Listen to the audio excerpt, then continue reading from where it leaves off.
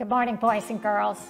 As you know, we have been reading some missionary stories, and I think all of us really love stories about missionaries. I love the story of Amy Carmichael, George Mueller, and many more. Today, we're continuing our story about Abner. So here we go. Thanks for listening up. Do you remember who we talked about last time? He was born in a church and he loved playing soccer and marbles. And when he was eight years old, he believed in Jesus as his Savior. How about some of you? Do you believe in Jesus as your Savior? This is an opportunity to ask Jesus to be your forever friend, to be your Lord and Savior. Abner Pineda, who can tell me what he was thinking? Who can tell me what he was thinking about to get money for the festival? What were you thinking? Yes, you're absolutely right. Abner was thinking about stealing money from his mom. And he thought no one would notice. Abner sneaked into his parents' room, glancing behind him to make sure that no one saw him. And he very, very quietly opened up his mother's box and he reached inside and he grabbed out, grabbed out a bag full of coins, just like that. He put them into his pocket and he hurried out of the room. He had just done it. Now he could play games at the festival just like his friends. Finally, the big day came and the boys joined the crowds lining the street for the big parade. Here they come, Carlos shouted over the noise of the crowd as the horses came in view. When the parade was over, they raced off to the fair. They rode the Ferris wheel. They ate cotton candy. They played games. The festival should have been a lot of fun.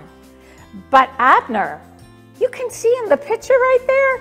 Was he having fun? What do you think? Oh, you're right. He wasn't having any fun at all. He kept thinking about how he'd stolen the money. The Holy Spirit was living in Abner, was telling him, something's wrong. What do you think Abner should do? What would you do, boys and girls, if you were in that situation? Where you had stolen something from your parents or some, some, from someone else, what would you do? Would you go up and tell that person? Let's see what Abner does. Abner felt so bad for taking the money from his mother that he had no fun at all at the festival. Was it worth it to steal the money, do you think? Abner knew stealing was wrong. It was a sin, and it did not please God. God, the Holy Spirit, lived in Abner because Abner had believed Jesus as Savior and Lord.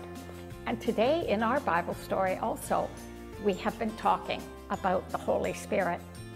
God, the Holy Spirit, helped Abner know he had sinned. Abner confessed and agreed with God about his sin. And God knew that he was forgiven. And Abner knew that he was forgiven by God. God was helping Abner grow into a stronger Christian.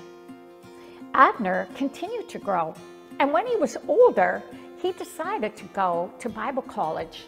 Maybe some of you will decide to go to Bible college.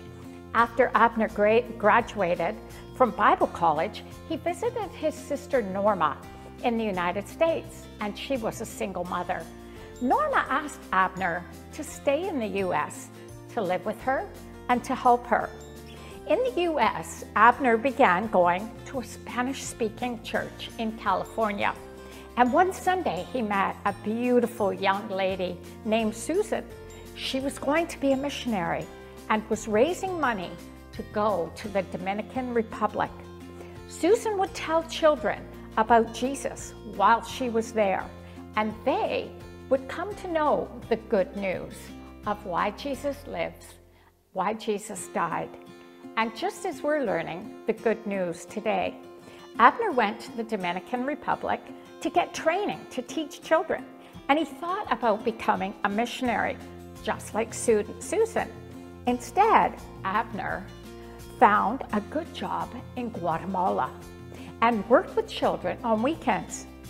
But he felt something was not right. A letter came asking Abner to come to the Dominican Republic to work there. Abner was very confused about what to do. If I become a missionary, he said, I would have to trust God for all of the money that would be provided, and I would need to receive gifts, from other Christians. Oh, it would be so much easier, Abner thought, just to have a regular paycheck. Abner was reminded and remembered how poor his family had been when he was small and his father was a pastor. Abner believed God wanted him to be a missionary, but he was afraid.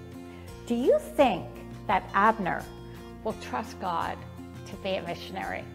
We're going to find out next week. So I hope you'll join us and I look forward to seeing you again. Thanks, boys and girls.